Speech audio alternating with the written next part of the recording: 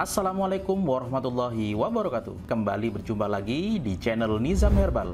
Channel yang selalu memberikan informasi menarik dan bermanfaat seputar produk kesehatan.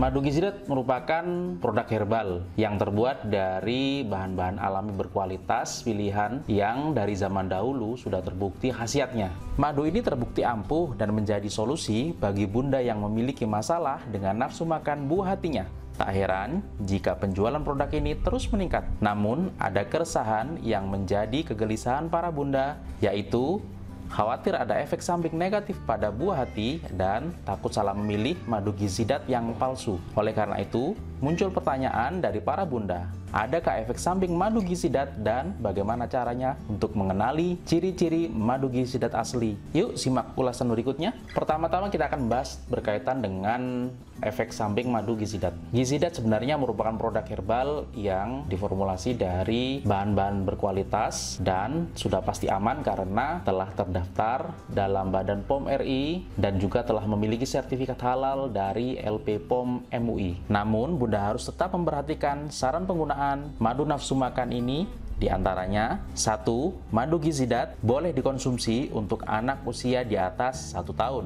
Jadi, jika buah hati bunda berusia di bawah satu tahun, kami sarankan untuk tidak mengkonsumsi madu gizidat ini. Yang kedua, bagi anak-anak yang memiliki alergi terhadap kandungan gizidat, dianjurkan untuk tidak mengkonsumsinya. Misal, memiliki alergi pada ikan atau madu. Yang ketiga, bagi anak yang menderita diare disarankan untuk tidak mengkonsumsi gizi dan sampai diarenya sembuh. Selanjutnya, bagaimana sih caranya untuk mengenali madu gizidat asli?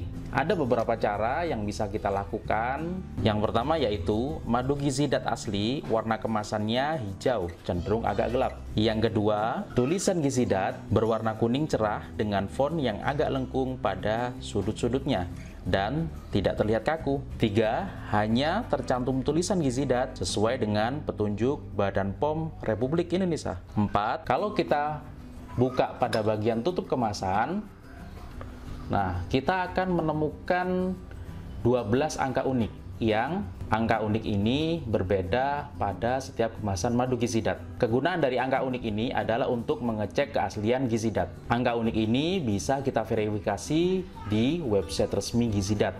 Yang kelima, jika kita perhatikan botol madu gizidat, ini botolnya tersegel rapi dan rapat.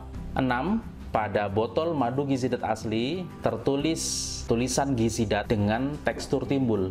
Demikian cara mengenali keaslian gizidat madu ikan sidat. Jangan sampai tertipu atau salah memilih produk ya. Bunda wajib teliti sebelum membeli. Oke Bunda, cukup sekian review kita kali ini tentang madu gizidat. Jika Bunda merasa informasi ini bermanfaat, jangan lupa untuk like, share, dan subscribe ya. Sampai jumpa di video kami selanjutnya ya. Wassalamualaikum warahmatullahi wabarakatuh.